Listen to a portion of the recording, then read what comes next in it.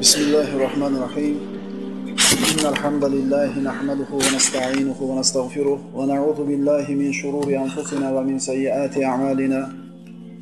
من يهده الله فلا مضل له ومن يضلله فلا هادي له. ونشهد أن لا إله إلا الله وحده لا شريك له.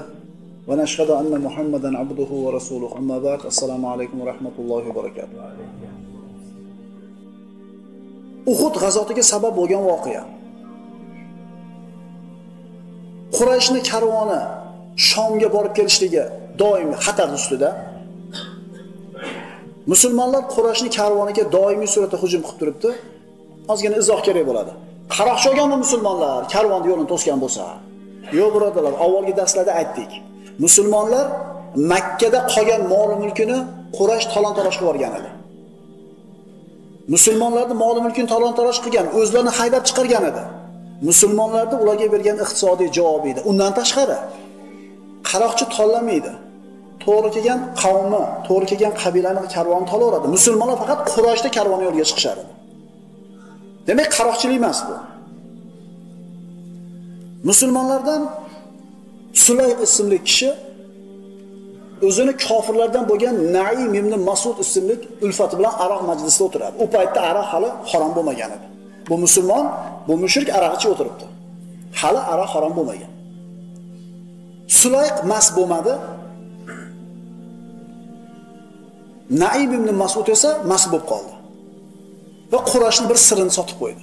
mastchilik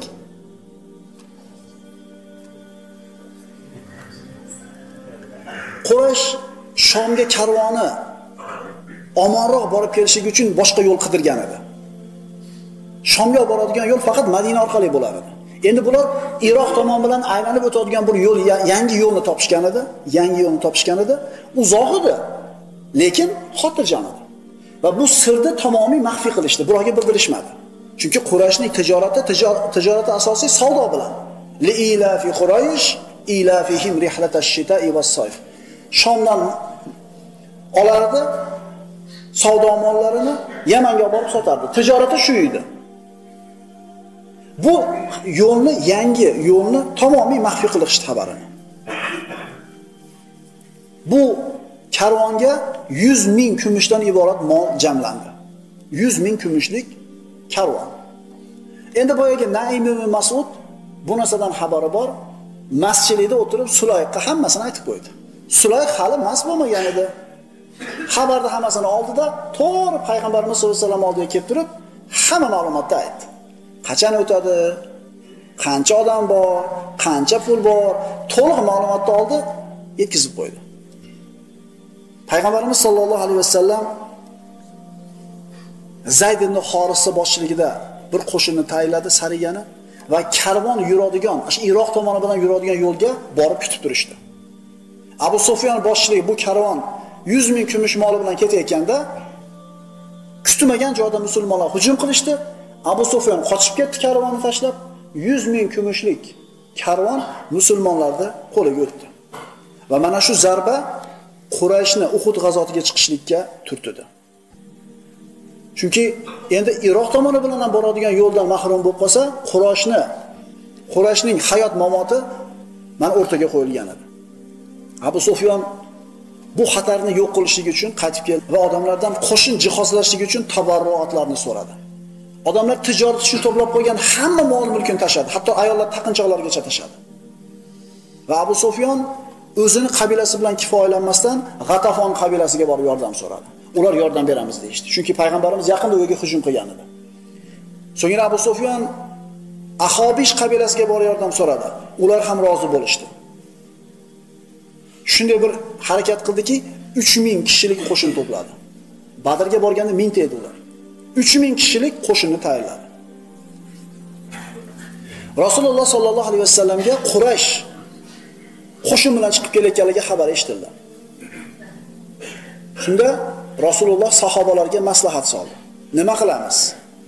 Madinada turib jang qilamizmi yoki tashqariga chiqaylikmi? Shunda yana hamosat sahobalarning shijoati qo'zib ketdi. Chunki ko'pchilik Badrga chiqa olmagan edi. Musulmonlar karvon to'sgani chiqib ketdi deb o'tirishgan edi, jang bo'lgan edi. payg'ambarimiz bilan birinchi bo'lgan g'azotda qatnasha olmagan juda ko'pchilik sahobalar alamda qolgan edi. Ularning ichidan Anas ibn Nazr. Anas ibn Nazr Badrdan musulmonlar qaytib ketgan paytda Rasululloh Quraysh bilan to'qnashgan birinchi jangda birga bo'lmadimmi dedi. Agar bundan keyin Rasululloh Quraysh bilan yana to'qnash kelsa, Alloh ko'radi men nima ish qilishimni degan edi. Shunga o'xshab Badrda qatnashaolmasdan alamzadada qolgan sahobalar chiqinglar yo Rasululloh deb turishyapti. Rasulullohning ra'yi Madinada qolish edi. Hamza ibn Abdul Muttolib aytdi: "Ya Rasululloh, agar Madinaga o'tirib olsak, chiqmasak, qo'rqishdi." deyishadi chiqaylik dedi. Boshqa sahobalar ham chiqishlikni tavsiya qilishdi. Rasululloh aytdilar: "Men bir tush ko'rdim" dedi. Qanday tush ko'rdingiz, ya Rasululloh? Ra'aytu baqaran tuzbah. So'yilgan yoki so'yilayotgan sigirni ko'rdim dedi. Va ra'aytu fi sayfi salama. Ya vijaj. Qilichimni qiyshayganini ko'rdim dedi. Va ra'aytuni adkhulu fi dir'in hasina. Bir mustahkam sovutni chekib ketayotganimni ko'rdim dedi. Nima deb ta'bir qildingiz shu ya Rasululloh? Rasul so'ylayotgan sigir dedi. Bu sahobalardan bir qanchalarini dedi shahid bo'lishi dedi. Qilichimdagi egrilik dedi. Meni ahli baytimdan bo'lgan bitta odamga bir musibat yetadi dedi. Endi men ichiga kirib ketayotgan sovutni Madina deb ta'bir qildim. Meni ra'yim Madinada qolish dedi. Lekin sahobalarda boyagi shijoati bilan, boyagi qistovi bilan payg'ambarimiz sollallohu alayhi vasallam chiqishlikka qaror qildilar. Hamda uyga kirib, urush kiyimlarini kiyib, odatda kiyadigan sovutini ustiga yana bir qator sovutni kiydi. Chunki urush qattiq bo'lishini payg'ambarimiz bilgan edi. Boshiga temirdan bo'lgan dubulg'asini kiyib chiqdi. Payg'ambarimiz kiyinayotgan paytda sahobalardan Sa'd ibn moz roziyallohu anhu rasulullohni ra'yi qolish edi. Bizni qistovimiz bilan chiqib biz Rasulullohni majbur qilib qo'ygan bo'lmaylik. Deyishdida payg'ambarimiz kiyinib chiqqanida, yo Rasululloh, biz sizni bir majbur qilib qo'ygan bo'lmaylik. Agar qolish niyatingiz bo'lsa, mayli qolaveraylik" dedi. Shunda payg'ambarimiz sollallohu alayhi vasallam aytdilarki, urush libosini kiygan payg'ambarga to bu payg'ambar bilan dushmanini o'rtasini Alloh hal qilmagunicha libosini yechishlik mumkin emas dedi. Ya'ni kiydikmi, endi yechmaymiz, endi chiqamiz endi dedi. Chunki fa iza azamta fatavakkal alalloh. Bir inson har qanday hisob kitob qiladi, mulohazani qiladi-da, bir qarorni qabul qilgandan keyin endi tavakkal qilib yurishlik kerak. ikkilanishlik bo'lmaydi bunaqa qat'iy qaror qabul qiladigan joyda musulmon odam ikkilanishi mumkin emas. Musulmonlar tashqariga chiqishdi. Bu g'azotga munofiqlar ham chiqdi. Abdulloh ibn Ubay boshchilik bir to'p munofiqlar ham chiqishdi. Payg'ambarimiz bilan Madinadan chiqqan qo'shning adadi 1000 kishi edi. Ular Uhud tomonga qarab chiqib borar ekan, ko'zlangan maqsadiga, joyiga yetishlik uchun bir kishini dehqonchiligini bosib o'tishlik kerak edi. Bu dehqonchilikda egasi, bu yerning egasi Murbi ibn Qoydi ismli kishi edi, ikki ko'zi ko'r edi. Munofiq edi, lekin islomni da'vo qilardi. Musulmonlar uni ekinzorini tepalab o'tishligidan xabar topib turib, o'tmaysizlar meni yerimdan dedi. Payg'ambarimiz aytdilar, yo'q, o'tishimiz kerak, chunki bo'lmasam aylansak uzoq vaqt ketadi. O'tmaysizlar deb turib oldi. Payg'ambarimiz sallallohu alayhi vasallam o'tavringlar dedi. Musulmonlar ekinni tepalab o'tib ketayotganda payg'ambarimizni haqorat qilishni boshladi boyagi ko'zi ko'r kishi. Shunda Said ibn Zayd roziyallohu anhu uni qanday qilib Rasulullohni so'kasan deb qo'lidagi tayoq bilan boshini burib yorib qo'ydi. Nabiy sollallohu alayhi vasallam aytdilar: "Ey Said, uni tinch qo'ying" dedi. A'ma, ko'r dedi. Bu kishi ko'zi ko'r bo'lgandek, qalbi ham ko'r ekan dedi. U so'kib turaverdi, musulmonlar o'tib ketishdi. Payg'ambarimiz sollallohu alayhi vasallam qo'shinni Uhud tog'ini oldiga olib bordida, Uhud tog'ini qo'shinning orqasiga joylashtirdi. Yani musulmonlarning orqasida Uhud turibdi tog'. Oldida Madina turibdi. Bu bilan payg'ambarimiz qo'shinni orqa tomonini tog' bilan himoya qildi. Endi mushriklar kelsa, faqatgina oldini musulmonlarga qarab, orqasini Madinaga qarab turishlikdan boshqa chorasi yo'q edi. Payg'ambarimiz mana shunday qilib qo'shinni joylashtirib turganida Abdulloh ibn Ubay munofiq kechagina Banu Qaynuqoni qaytarib olgan munofiq turib aytdiki: menimcha jang bo'lmaydi dedi. Agar jang bo'lsa ham Madinada bo'lgani yaxshi. Undan tashqari bu Rasulullohning ra'yi edi. Men qaytdim, qaytinglar deb turib Madinaga qaytib ketdi. U bilan birga 300 kishi qaytib ketdi. Hatto Avs va Hazraj qabilasidan bo'lgan bir qancha odamlar ham ketganida boshqa sahobalar ularni nasihat qilib orqaga qaytarib qolishdi. 300 ta odam Abdulloh ibn Ubay bilan qaytib ketdi. Musulmonlar 700 kishi bo'lib qoldi. Payg'ambarimiz sollallohu alayhi vasallam jangga tayyorlanayotgan qo'shiniga agar ular sabr qilishsa, Badr g'azotida yordamga farishtalar kelgandek, 3000 ta farishta yordamga kelishligini bashoratini aytdi. Badrda mingta keldi. Bugun agar sabr qilib tursanglar, 3000 ta farishta sizlarga yordamga keladi. Astagfirullah. Va laqad nasarakumullohu bi badrin wa antum azilla. Fattaqulloha la'allakum tashkurun. Axir Alloh Badr jangida kuchsiz bo'lsangiz-da sizlarni g'olib qildi-ku. Bas Allohdan qo'rqingiz. Shoyat uning ne'matlariga shukr qilgaysiz. Mu'minlarga Parvardigoringiz sizlarga 3000 ko'kdan tushirilgan farishta bilan madad berishi kifoya qilmaydimi degan paytini eslangiz. Yo'q, kifoya qilur. Agar sabr qilsangizlar va Allohdan qo'rqsangizlar va ular kofirlar shu onda sizlarga hujum qilsalar, Parvardigoringiz sizlarga 5000 belgili farishta bilan madad berur. Ya'ni qiyin bo'lib kelsa 5000 tagacha tushiraman deyapti Alloh taolo farishtani. Bu madadni Alloh faqat sizlarga xushxabar bo'lsin deb va dillaringiz taskin topishligi uchun qildi. Aslida g'alaba faqat qudrat va hikmat egasi bo'lgan Alloh huzuridan kelur. Agar sabr qilsanglar, Badrda sizlarga 1000 ta farishta kelgandek, 3000 yoki 5000 farishtani men yordamga jo'nataman dedi. Payg'ambarimiz sollallohu alayhi vasallam qo'shinni bir ko'zdan kechirar ekan, bir qancha bolalarni qaytarib yubordi. Abdulloh ibn Umar 12 yoshda kichkinaligi uchun qaytarib yubordi. Yana bir bolani yoshi 10 edi, uni ham qaytarib yubordi. Yana bir bolani yoshi 13 ta edi. Uni ham qaytarayotganda haligi 13 yoshar bola aytdiki, "Ya Rasululloh, men merganman" dedi. Kamondan yaxshi otaman. Qaysi bir mo'ljalni bering, hadafni men tekizib beraman dedi. Haqiqatan mo'ljallab berishuvdi, bir mo'ljalla berishuvdi, otib tegizdi. Bo'pti, sen qolaver dedi. Qaytarilgan bolalarning ichidan bittasiga, "Ya Rasululloh, siz ruxsat bergan onani men kurasam yengib qo'yaman" dedi. Siz qolishlikka ruxsat bergan anavi merganda, agar kurashsa men yengib qo'yaman dedi. Payg'ambarimiz sollallohu alayhi vasallam kurashtirib ko'ruvdi, haqiqatan yengib qo'ydi. ham buni ham qoldirib qo'ydi. Madinaga qaytarilgan kishilardan, yoshlardan Zaydning o'g'li usomat ibn Zayd ham bor edi. Payg'ambarimiz sollallohu alayhi vasallam Uhudga chiqqan sahobalarni turli yo'llar bilan shijoatlantirardi. Farishtalarning kelishligi bilan ana shu shijoatlantirishlarda qatorida payg'ambarimiz bir qilichni qo'llariga oldilarda man hada bi haqqihi kim buni qilichni haqqini ado qilib qo'limdan oladi Hamza roziyallohu anhu men yo Rasululloh. Ya'ni Rasululloh sollallohu alayhi vasallamning qo'lidan qilich olishlik bu albatta har bitta sahoba uchun sharaf edi.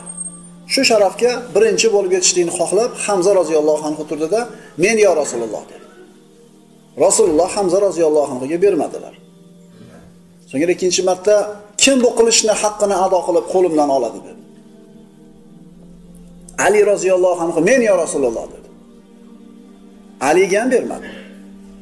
Uchinchi marta man yahud hada sayf bi haqqihi Zubayr ibn Avvom roziyallohu anhu men yo Rasululloh. U kishi ham bermadi Nabiy sallallohu alayhi vasallam. To'rtinchi marta kim bu qilichni men qo'limdan haqqini ado qilib oladi dedi. Miqdod roziyallohu anhu turdida men yo Rasululloh dedi. Miqdod roziyallohu anhu ham payg'ambarimiz bermadi. Endi shu kishilarga bermasa kimga beradi? Ya'ni bu kishilarni tengi yo'q jangchilar edi. Jang maydonida misli ko'rilmagan jangchilar, musulmonlarning eng shijoatli, botir qahramonlari edi. Ya'ni ularni darajasini bilishlik uchun Umar ibn Xattob roziyallohu anhu keyingi davrlarda Amr ibn Os roziyallohu anhu Misrda jang olib borayotganda u kishiga madad jo'natadi qo'shin. Jo'natib aytadiki, men sizga 8000 kishilik qo'shin jo'natyapman deydi. Qo'shin o'zi 4000, lekin bu 4000 ning ustida 4 ta odam bor, har bittasi mingtaga tatidi dedi. Ana shu 4 ta aytilgan odamda bittasi Miqdod roziyallohu anhu, bittasi Zubayr ibn Avvam roziyallohu anhu edi. Ya'ni shunday bir ulug' jangchilarga payg'ambarimiz sollallohu alayhi vasallam qilichni bermadilar. 5 marta qilichini ko'tarib turib, kim bu qilichni haqqini to'lab meni qo'limdan oladi? Shunda ansorlardan Abu Dujona Sammok ibn Xorasha roziyallohu anhu ya Rasululloh bu qilichni haqqi nima deb so'radi. Rasululloh shu savolni kutgandilar. Chunki yuqorida men deb turgan to'rtala sahobalardan birortasi ham haqqi nima deb so'ramagan edi. Abu Dujona bu qilichni haqqi nima ya Rasululloh deb so'radi. Shunda Nabiy sallallohu alayhi vasallam bu qilich bilan dushmanlarga bir zarba berishlik, ularni boshlariga urib qiyshayib ketguncha jang qilishlik dedi. Men olaman unda ya Rasululloh dedi. Payg'ambarimiz sallallohu alayhi vasallam Abu Dujona roziyallohu anhuga qilichni berdi va Abu Dujonaning quvonchini cheki yo'q edi. Chunki bir u kishi uchun bir sharaf bo'ldi. Rasululloh sollallohu alayhi vasallamni qo'lidan qilich oldi. Xursandchiligi bir qattiq bo'lganligidan bir parcha qizil latani oldida peshonasiga baylab, otini minib, otini bir kishnatib, ikkita oyog'iga turgizib, qilichini ko'tarib bir tafoxur, faxrlanishni boshladi. Chunki boshqa sahobalarga, ulug' sahobalarga bermagan qilish berildi. Xursandchiligini mana shunday nishonlanayotganda payg'ambarimiz ko'rib kuldilarda, bunday kirilishlik, bunday faxrlanishlik Alloh va Rasulini g'azablantiradi. Faqatgina bu o'rinda emasdi. Ya'ni kofirlarning oldida, dushmanlarning oldida mana shunday bir quvvatini ko'rsatib faxrlanishlik bu karih emas. Payg'ambarimiz sollallohu alayhi vasallam qo'shinni mana o'tgan darsda aytdik, Uhud tog'iga orqa tomonni qilib joylashtirdi. Musulmonlarning qo'shinini orqa tomonida Uhud, orqa tomonni himoya qilib turibdi, oldida Madina. Mushriklar musulmonlarning ro'parasiga turishlikdan boshqa chora topishmadi. Musulmonlar orqa tomonni himoyalagan bo'ldi, lekin ana shu maydonga musulmonlar turgan joydan uzoqroq bir joyda bir kichkinagina tepalik bor edi. Rumot deyiladi hozirgi kunda mana. Ana shu kichkinagina tepalikni kim egallasa jang maydonlari maydonini idora qilishi imkoniyati bor edi. Payg'ambarimiz sollallohu alayhi vasallam shu joyga Abdulloh ibn Jubayr boshlik 50 ta mergan kamonchilarni joylashtirib, ularga musulmonlarni himoya qilib turishini buyurdi. Ularga berilgan vazifa quyidagicha edi. Orqadan aylanib o'tmoqchi bo'lgan mushriklarni qaytarishlik, ikkinchi vazifasi jang asnosida mushriklar tomonga o'q otib, ularga zarba berib turishlik. Demak, musulmonlar ana shu 50 ta kamonchi musulmonlarni orqasini himoya qilib turishligi kerak. Va payg'ambarimiz ularga aniq, ravshan, ochiq buyruqni bir necha marta takrorladi. Agar biz g'olib bo'lsak, joylardan jilmanglar. Agar biz g'anima yig'ishni boshlasak, bizga ergashmanglar. Agar biz mag'lub bo'lsak ham joylardan jilmanglar, yordam bermanglar. Ya'ni kundek ravshan buyruq. Qaysi holat bo'lishidan qat'iy nazar o'rninglardan jilmanglar, tom mendan ochiq buyruq kelmagunicha. Abdulloh ibn jubay roziyallohu anhuni boshliq qildi. Uhudga kelgan mushriklardan birini Vahshiy ismli mergan quli bor edi. Bu Vahshiy nayza otarida hech ham xato qilmas edi. U jang maydoniga bitta maqsad bilan kelgan edi. Uning sayyidi ba'zi rivoyatlar mana Hind deyiladi. Mut'im ibn Adi deyiladi ba'zi rivoyatlarda. Hamzani o'ldirsang ozodsan deb unga mukofot qo'yib qo'ygan. Shuning uchun jang maydoniga bitta maqsad bilan kelgan edi. Hamza ibn Abdul Muttolibni qatl qilsa ozod bo'ladi. Boshqa maqsadi, boshqa niyati yo'q edi. Musulmonlar joylashdi, romotlarni o'rniga qo'ydi 50 ta kamonchini, mushriklar keldi. Abu Omir Abu Omir ismli kishi Madinada yashar edi. Payg'ambarimiz sollallohu alayhi vasallam Madinai Munawvaraga hijrat qilib kelmasidan avval Avs va Hazraj qabilasi bu kishini o'zlariga podshoh qilishlikka ittifoq turishgan edi. Hatto ba'zi odamlar ittifoqqa kelishib qolsak, shu podshoh bo'ladi baribir ustimizda deb toj tayyorlayotgan edi unga. Endi hijrat bo'ldi. Nabiy sollallohu alayhi vasallam Madinaga keldilar. Madinani hukmi payg'ambarimiz qo'liga o'tib ketdi. Mulkdan hukmdan mahrum bo'lib qolgan Abu Omir buni rohib derdi kofirlar. Payg'ambarimiz uni fosiq deganida Shomga ketib qolgan edi. Endi Qurayshni Madinaga hujum qilib kelayotganligini bilib, ularni qo'shini qatorida qatnashish uchun kelgan edi. O'zi bilan bir to'p jamoani olib, Uhud maydonini kavlashni boshladi. Katta-katta chuqurlarni kavladi. Chunki ehtimol musulmonlar shunga tushib bir jarohat yer yoki musulmonlarga bir zarar yetadigan maqsadda. Abu Omir payg'ambarimiz bilan birga turgan Avs va Hazrat qabilasidan bo'lgan ansorlarga men oldimga kelinglar. Men sizlarni saidingizman Men sizlarga yordam beraman. Kim bo'libdi sizlarga Muhammad deb ularni o'z tomonga og'dirmoqchi bo'lganida Avs va Hazraj qabilasi Madinaliklar ovozingni o'chir Allohning dushmani.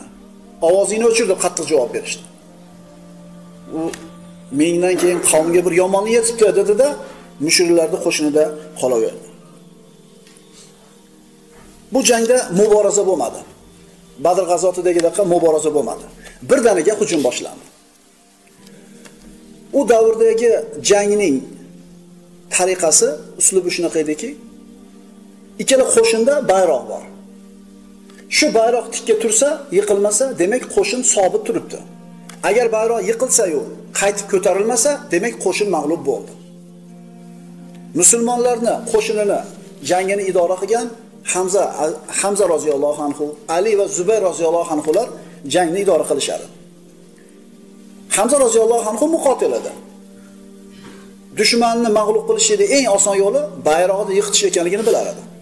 Shuning uchun ikki qo'shin to'qnashligi bilan Hamza roziyallohu anhu bir qancha sahobalar yig'dida o'zini kichkina jamoasi bilan mushriklarni bayroqdoriga shunday yetib bordida, o'ngga choppa choq turib, bir urib jangda avvalida bayroqdorni yiqitib qo'ydi.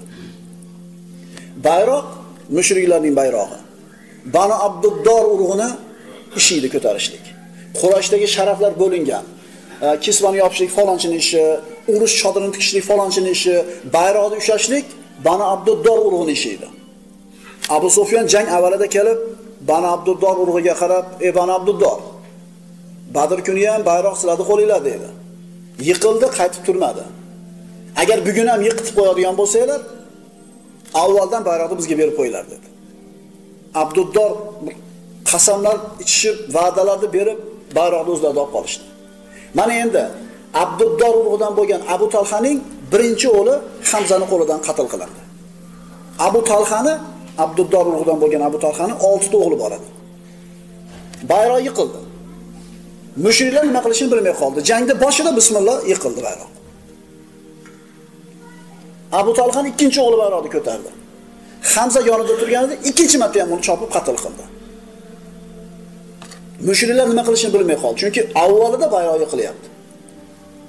Hamma kuchini Hamzani bayroqdordan haydashlikka sarf qilib, Hamza roziyallohu anhu'ni uzoqlashtirishlikka imkon topishdi.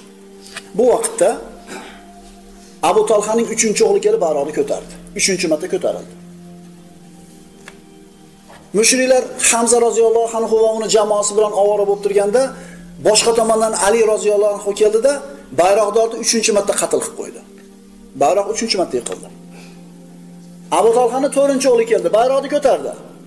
Ali roziyallohu anhu ketmaganida 4-marta ko'targanda ham qatl qildi. Ali roziyallohu anhu surib ketishdi. Bayroqni Abu Talhaning 5-o'g'li ko'tardi. Hamzani u yoqda, Alini bu yoqda qaytarib turishganida Osim ibn Sobit keldida 5-bayroqni ko'targanda ham qatl qilib qo'ydi. Ya'ni mushriklar ko'rib nima bo'layotganini tushunmasdi. Hali bayroq yiqilyapti, turyapti. Yiqilyapti, turyapti. musulmonlarni bayrog'i esa sobit turardi. Musulmonlarning bayrog'i Mus'ab ibn umay roziyallohu anhuni qo'lida edi. Abu Talhani 5-o'g'lini Osim qatl qilayotganda mana shu qatl bo'lgan aka ukalarni singlisi surafa Sulofa 5-akasini Osim qatl qilayotganini ko'rdida, avvalgilarini ham Osim qatl qildi degan xayolga bordi. 5-marta bayroq qildi, 6-o'g'li bayroqni ko'tardi. Osim uni ham qatl qildi. 5-6 o'g'ilda Osimning sobit qatl qilganini ko'rib turib, Sulofa aytdiki, "Man ya'tini bi asim." Kim menga Osimni boshini olib kelib beradi? Ashrobu min jumjumatil xomr va amra rasahu zahaban. Uni jumjumasida aroq ichib, ichini oltinga to'ldirib beraman dedi. Chunki 5-6 akasini Osim qatl qilganini ko'rdida, qolganlarni ham Osim qatl qildi deb o'yladi. Hujum Osim roziyallohu anhuga bo'ldi. Qurashni bayrog'ini 7-marta ko'tarishdi. Endi Abu Talhani o'g'illari tugadi, lekin Abduddor o'g'idan bo'lgan boshqa bir kishi bayroqni ko'tardi. Mushriklar aytishdiki, agar ish shunday davom etadigan bo'lsa, musibat bo'ladi. Ular bizni bayrog'imizga hujum qilganda, biz ham ularni bayrog'iga hujum qilamiz dedi. Va Mus'ab ibn Umayr tomonga qarab turib mushriklar kuchlarini tashlashdi. Bir vaqtda o'zida ikkita ma'raka, ikkita jang boshlandi. Bitta jang musulmonlar bayrog'ini oldida, ikkinchi jang mushriklarning bayrog'ini oldida. Musab ibn Umayr sobit turib bayroqni himoya qilardi. Hamza, Ali va Osim roziyallohu anhulardan iborat ana shu jamoa hujum qilib kelib, 7-marta ko'targan kishini ham qatl qilishdi. Musulmonlar bayrog'i turardi, mushriklar dahshatga tushdi. Bayroqlar oldida jang bo'layotgandek boshqa joylarda ham janglar davom etar edi. Payg'ambarimiz sollallohu alayhi vasallam Sa'd ibn Abi Waqqas roziyallohu anhu oldida turardilar. Sa'd ibn Abi Waqqas nihoyatda mohir mergan edi. Har otgan o'qi yo bir mushrikni yer tishlatar edi, yo jarohatlardi, yo yer yiqitar edi. Bunday bir mohirlikni, mergandagi mohirlikni ko'rib payg'ambarimiz quvonib, "Oting esat oting ota-onam sizga fido bo'lsin" dedi. Bi abi anta va ummi irmi ya Sa'd. Sa'd ibn Waqqas aytadi, Rasululloh hech kimga ota-onasini jamlab fido qilgan emas, faqat menga deydi. Uhudda shahid bo'lganlardan Hanzala ibn Omir roziyallohu anhu, g'osilul malaika. Bu kishi Payg'ambarimiz sollallohu alayhi vasallam g'azotga chaqirganida shoshilib chiqib ketadida g'usul qilmasdan junub holatda chiqib ketgan bo'ladi. Jangda shahid bo'ladi. Jangdan keyin Payg'ambarimiz sollallohu alayhi vasallam sahobalar bilan borishganida ana shu bir shahid bo'lib yotgan jussasining ustida suv tomchilari oqayotgani bo'ladi. Payg'ambarimiz aytadilar, uni farishtalar g'usul qildiryapti deydi. Farishtalar g'usul qildiryapti deydi. So'ngra shunday yuzini yonboshga bo'ladi Nabiy sollallohu alayhi vasallam. Ya Rasululloh nima unday qildingiz deganda, hozir uni boshiga ikkita hurayni kelib o'tirdi deydi.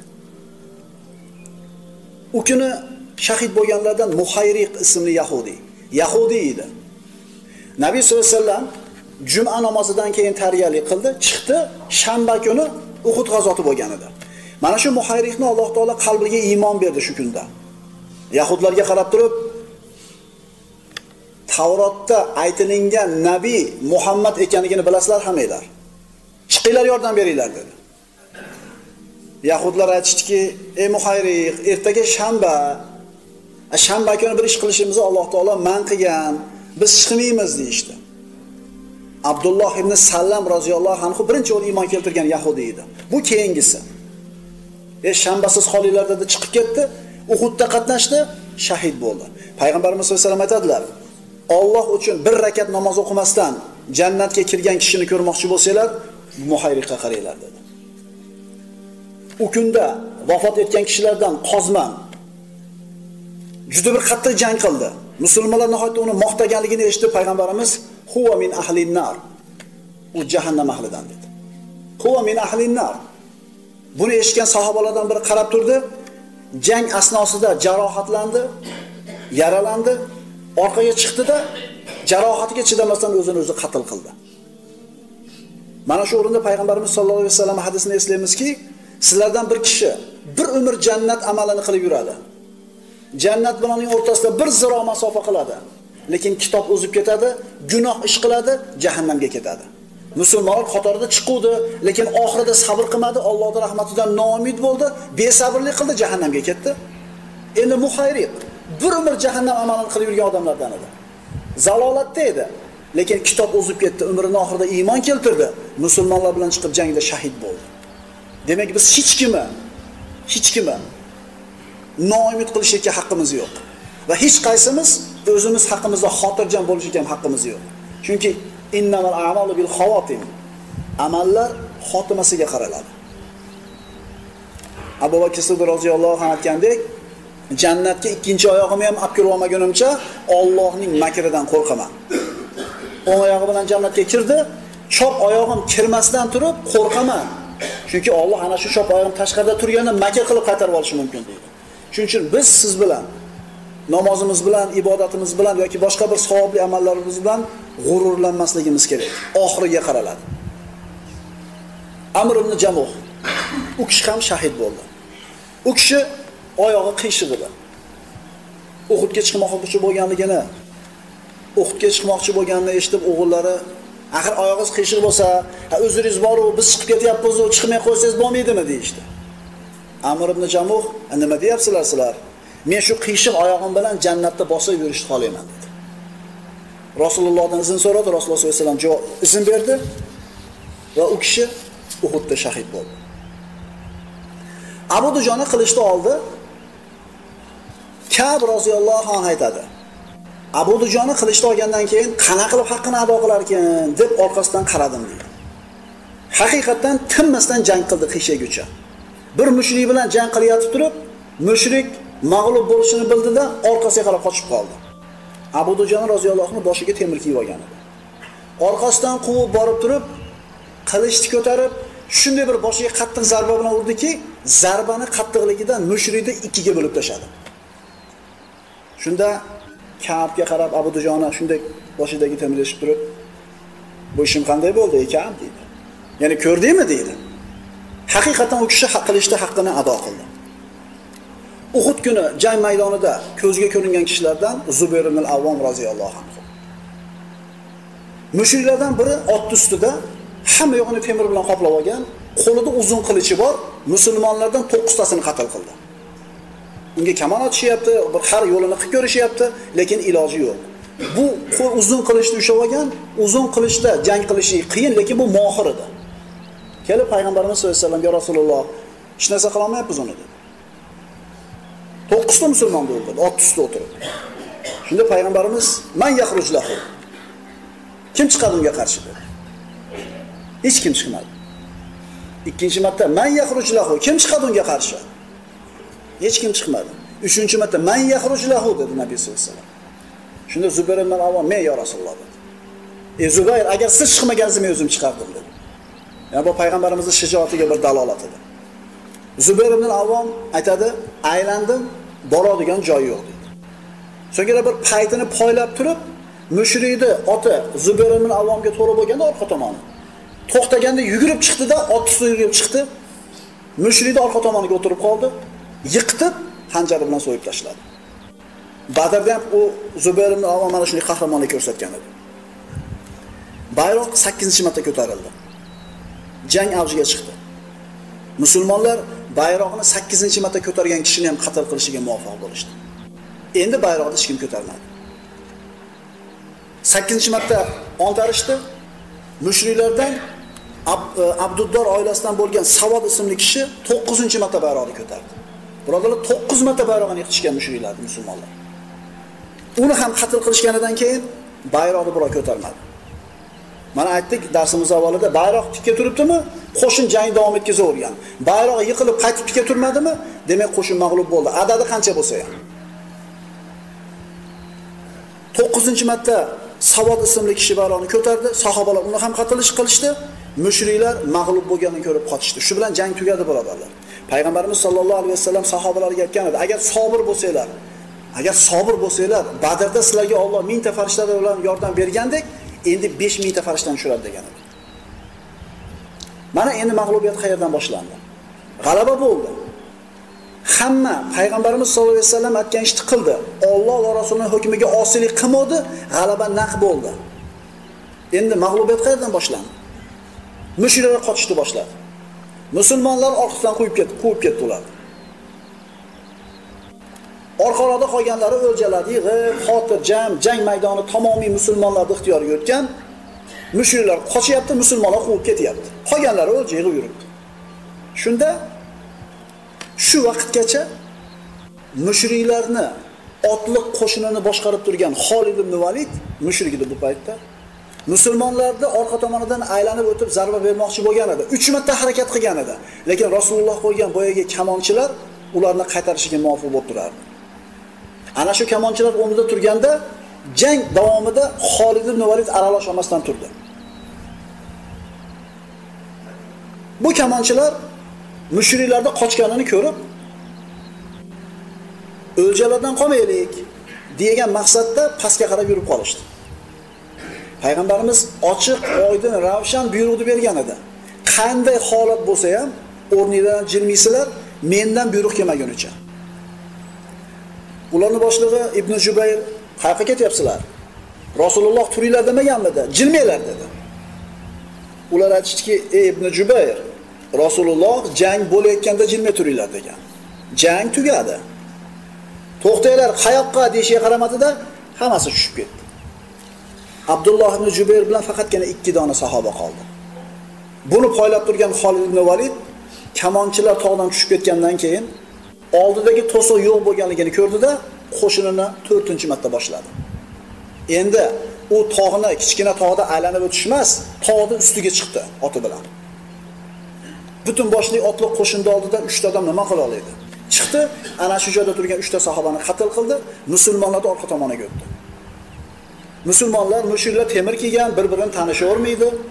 Bir to'p musulmonlar oldiga haydab ketyapti, ikkinchi musulmonlar o'lgan terib yuribdi, orqadan kutilmaganda Xolid ibn Valid zarba berdi. musulmonlarni qo'shin o'rtasida parokandalik, favzo boshlandi. Mushriklarda qo'shinda favzo, musulmonlarda favzo, parokandalik bitta tartib bilan jang qilayotgan Xolid ibn Valid edi. Musulmonlar orqadan zarba yegandan keyin oldiga quvib ketayotgan musulmonlar orqadagi shovqinni eshitib qaytishdi. Qaytib kelishdida orqadagi musulmonlar bilan bir-birlarini tanimasdan bir-birlarini chopishni boshlashdi. Bir temir kiyib olganligidan bir-birlarini qatl qilishni boshladi. Huzayfat ibn Yamoniy aytadi. Musulmonlar ikki tarafdan deydi. Otamni deydi, qilich bilan urib qatl qilishdi deydi. "Ey birodarlar, u meni otam, ey musulmonlar u otam" dedim, lekin ichim quloq solmadi deydi. Ya'ni shunday bir favzo bo'ldi, musulmonlar bir-birlariga qilich ko'tarishni boshlashdi. Musulmonlar orasida parokandalik bo'ldi. Jang tartib bilan ketayotganda Hamza roziyallohu anhu oldida hamrohlari bor edi, orqasini yonboshini himoya qilar edi. Endi Hamza yolg'izlanib qoldi. Buni poylab turgan Vahshiy Vahshiy ibn Harb orqa tomonidan keldi. Va nayzani otib beliga sanchidi, qornidan chiqdi. Sayyidi shuhado, shahidlarning sayyidi deyiladi. Vahshiy aytadi, nayza kirib xonadan chiqqandan keyin men tomonga burildi deydi. Men ustimga qarab yurib kelayotgandi, bo'ldi, o'ldim dedim, yetib kelgan joyida holdan qurib yerga yiqilib tushdi. Bu favzon orasida bayroqni ushlab turgan Mus'ab ibn Umayr ham yolg'iz qolgan edi. Qo'lida bayroq, qo'lida qilich jang qilganda mushriklar hujum qilishida bayroq ushlagan qo'lini chop tashlashdi. Qo'li chopilganda u kishi nima dedi? "Va ma Muhammad illa rasul, qad xolat min qablihi rusul." Bu hali oyat bo'lmagan edi Qur'onda. Muhammad kim? Bir payg'ambar xolos. Undan ham avval payg'ambarlar o'tgan. Ikkinchi qo'lini chopishdi. Qo'lini qolgan qismi bilan barab ushadi, uchinchi marta zarba berishdi, u kishi ham shahid bo'ldi. Mus'ab ibn Umar roziyallohu anhu Makkani eng chiroyli yigiti bo'lgan musulmon bo'lishidan avval eng puldor oilani bolasi bo'lgan, eng nasl nasabi baland bo'lgan oilani bolasi bo'lgan. Mana bugun ikkala qo'li chopilgan holda shahid bo'lib yotibdi. Keyinchalik Alloh taolo Musab ibn Umayr aytgan mana shu so'zini Qur'onga oyat qilib yozib qo'ydi birodarlar. Bu sharafni ko'ryapsizlarmi qanaqa bo'ldi? Va ma Muhammadun illa rasul qad xolat min qablihi rusul. Muhammad faqat bir payg'ambar xolos. Undan ilgari ham payg'ambarlar o'tgandir. Ya'ni payg'ambarimiz o'ldi degan gap chiqqanda muso ibn Umar shu gapni gapirgan. Rasululloh sallallohu alayhi vasallam Abu Omir kavlagan, Abu Omir fosiq kavlagan chuqurlardan biriga tushib ketganida shayton Muhammad o'ldi deb baqirgan edi. Shayton baqirgan edi. Eslasanglar, Aqaba bayatida ansorlar bilan payg'ambarimiz o'rtasida bayat bo'lgandan keyin butun Mino eshitadigan ovozda baland qilib baqirgan edi. Ey ahli Jabajib, muzammam va dindan qaytganlar sizlarga qarshi ittifoq qilishdi dedi. Shayton bu kun ham baqirdi. Muhammad o'ldi dedi. Muhammad alayhissalom o'ldi degan noto'g'ri xabar tarqaganida Umar ibn Hattob roziyallohu anhu xuddek zabardast tog' bo'lgan sahoba nima ish qilishini bilmay qoldi. Yerga o'tirib qoldi. Oldiga Sa'd ibn Muoz roziyallohu anhu keldi. U ham o'tirib qoldi. Umar ibn Hattob muhojirlarning ichidagi qanaqa ulug' sahoba. Sa'd ibn Muoz ansorlar ichidagi eng ulug' sahoba edi. U kishi shahid bo'lganda Allohning arshi titragan edi. U kishining janozasiga 70 mingta farishta qatnashgan edi. Mana shunday bir zabardast sahobalar boyagi noto'g'ri xabarni eshitib o'tirib qolishadi. ulardan oldidan Anas ibn Nazar o'tib qoladi. E, musulmonlar favzoda, parokandalikda. Nima qilib o'tiribsizlar deydi. Rasululloh vafot qildi deydi.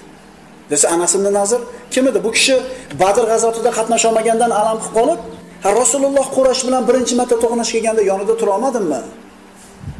Yana bundan keyin Quraysh bilan payg'ambarimiz yo'l qolgan bo'lsa, Alloh ko'radi men nima ish qilishimni deb qasam ichgan edi. Ana shu Anas ibn Nazir roziyallohu anhu qasamini qanday oqladi endi? Rasululloh o'lgan bo'lsa nima qilib turibsizlar dedi. Turinglar. Rasululloh jon fido qilgan narsa ustida sizlar ham jon fido qilinglar dedi. Ya'ni bu ozgina g'aflat bosgan paytda Anas ibn Nazr ularni o'ziga keltirib qo'ydi. So'ngra mushriklar tomonga mana shunday mag'lubiyatni orasida yolg'iz o'zi hujum qilib kirib keldi. "Ey saad dedi Anas ibn Nazr, "Men Uhud tomonidan jannat hidini sezyapman" dedi. Men Uhud tomonidan jannat hidini sezyapman dedi.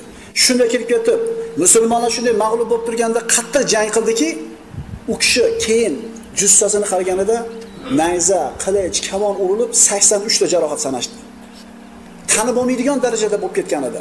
Barmog'idagi ba'zi bir alomatlaridan tanib qolishdi. Ya Rasululloh dedi keyin Sa'd namoz. Men Anas qilgandaqa ish qila olmadim dedi. U kishi ahdiga vafo qildi. U kishi haqida oyatlar nozil bo'ldi birodarlar. Qaranglar. Minal mu'minina rijalun sadaqu ma ahadulloh alayhi. فمنهم من قضى نحبه ومنهم من ينتظر وما بدلوا تبديلا mana erkaklar qanaqa bo'lgan mo'minlar orasida o'zlarini o'zlari Allohga bergan ahd va paymonlariga sodiq bo'lgan kishilar bordir mo'minlar ichida erkaklari bor deyapti Allohga bergan ahdida turadi bas ulardan ayrim kishilar o'z ahdiga vafo qildi ya'ni shahid bo'ldi ulardan ayrim kishilar esa shahid bo'lishlikka intizordir Uhud kuni shahid bo'lganlardan Abdulloh ibn Harom. Bu kishi jobir ibn Abdullohning otasi. Bu kishi faqir edi. Qarzlari ko'p edi. to'qqizta deyiladi, qizi bor edi, bir dona o'g'li bor edi. Jangga chiqib ketayotib, o'g'li jobir ham chiqmoqchi bo'lganda, o'g'lim, men bugun shahid bo'lishimni sezyapman. Mendan keyin qolib, singillaringga yaxshi muomala qil, qarzlarimni uzib qo'y deydi. Chiqadi, bu kishi shahid bo'ladi. Otasini jussasini ko'rmoqchi bo'lib, Jabir ibn Abdulloh borganida sahobalar ko'rsatishmaydi. Qo'y ko'rma deydi. Lekin payg'ambarimiz qo'ylar ko'rsin deydi. Jussasini ko'rgan paytda nihoyatda bir muslih tashlangan holatda. Payg'ambarimiz aytadiki, "Ey Jabir, xursand bo'ling" deydi. Xursand bo'ling, chunki Alloh otangizga to'g'ridan to'g'ri gapirdi deydi. Ya'ni kimga gapirgan bo'lsa Alloh parda ortidan gapirgan, lekin sizni otangizga to'g'ridan to'g'ri gapirdi. Otangizni Alloh taolo tiriltirib jannatga kirgizib turib, "Ey banda, orzu qil" dedi. Otangiz aytdi, "Parvardigor meni dunyoga qaytar. Seni yo'lingda jang qilib yana shahid bo'laman" dedi. Shunda Alloh aytdi, "Men undan chiqqanlar qaytib unga kirmaydi deb yozib qo'yganman" dedi. Ya'ni dunyodan chiqqanlar qaytib kirmaydi deb yozib qo'yganman dedi. Otangiz aytdi, "Parvardigor, unday bo'lsa, men topgan saodatni, men topgan saodatni birodarlarimga xabarni ber dedi. Alloh taolo Qur'onda oyatlar nozil qilib Abdulloh ibn Haromni xabarini farzandiga va sahobalarga yetkazdi. bal ahyaun inda robbihim yurzaqun Alloh yo'lidagi jangda o'ldirilgan zotlarni hargiz o'liklar deb o'ylamang. Yo'q, ular tiriklardir. Farihina bima atahumullohu min fadlihi va yastabshiruna billadina lam yalhaqu bihim min xalfihim alla xavfun alayhim va lahum yahzanun. U zotlar Alloh o'z fazli karami bilan bergan ne'matlaridan xushnud hollarida bahramand bo'lmoqdalar va hali ortlaridan yetib kelmagan birodarlariga hech qanday xavf va xatar yo'qligi va g'amgin bo'lmasliklari haqida xushxabar bermoqdalar. Jannatdan Abdulloh ibn Haromni so'zini Alloh taolo sahobalarga siz bilan bizga yetkazyapti. musob ibn Umayr qo'lidagi bayroq tushdi. Mushriklarning bayrog'i tushdi. Ikkala bayroq ham tushdi. Ikkala qo'shin ham mag'lub bo'ldi. Faqatgina Xolid ibn Validning qo'shini sobit turardi. Mana shunday qiyin holatda musulmonlarning bayrog'ini, musulmonlarning qahramonlaridan bo'lgan, bahodirlardan bo'lgan bir kishi bayrog'ini ko'tardi. Ali ibn Abi Talib. Mushriklarning bayrog'ini esa Banu Abduddor urug'idan bo'lgan Amro binti Alqama ismli ayol ko'tardi. Yana ikkita bayroq ko'tarildi, yana ikkita qo'shin o'zini bayroq atrofida jamlana boshladi. Musulmonlar nihoyatda bir parokandalik holatda har tomondan ularga zarba berilardi. Nabiy sollallohu alayhi vasallam chuqur yiqilib tushgan edi. Payg'ambarimiz men Rasulullohman, meni oldimga kelinglar, meni oldimga kelinglar deb sahobalarni o'ziga chaqirdi. Bu juda xatarli edi bu chaqiriq. Chunki har qanday mushrik payg'ambarimizni qayerdaligini bilib, kelib hujum qilishi mumkin edi. Shunda payg'ambarimiz oldiga bir qancha sahobalar to'plandi. Abu Bakr, Abdurrahmon ibn Avf, Abu Dujona, Talhat Ubaydulloh va 7 ansoriy. Nusayba ismli bir ayol ham payg'ambarimiz yonida jang qiladi. Payg'ambarimiz boyaga chaqirig'ini kofirlardan Ibn Ummi Qomiya ismli kishi eshitdi. Rasululloh sollallohu alayhi vasallam oldiga keldida payg'ambarimiz chuqurdan chiqib kelayotganini ko'rib turib, qilichini ko'tarib qattiq zarba bilan yelkasiga urdi. Rasululloh zarbani qattiqligidan chuqurga tushib ketdi. Lekin sovutni ikki qavat kiyib olganligi yelkasini saqlanib qolishiga sabab bo'ldi. So'ngra ustiga yurib tushdi. Qilichini ko'tarib ikkinchi marta boshiga urdi. Payg'ambarimiz sollallohu alayhi vasallam muborak boshlariga dubulg'a kiyib olgan edi. Ana shu qilich tegib o'yilib payg'ambarimiz sollallohu alayhi vasallam boshiga sanchilib qolgan edi. Uchinchi marta Ibn Ummi Xomiya yerdan katta bir tosh toptirib payg'ambarimizni muborak yuzlariga urdi. Rasululloh sollallohu alayhi vasallamning tishlari sindi, og'izlari qonga to'ldi. Nima sababdan? Musulmonlar Alloh va Rasulining hukmiga xilof ish qilganligidan. Ma asoba min musibatin fa bima kasabat aydikum va ya'fu an kathir. Boshingizlarga nima musibat kelsa, o'zingizlar qilgan ish tufayli bo'ladi. Boshingizlarga nima musibat kelsa, o'zingizlar qilgan ish tufayli bo'ladi.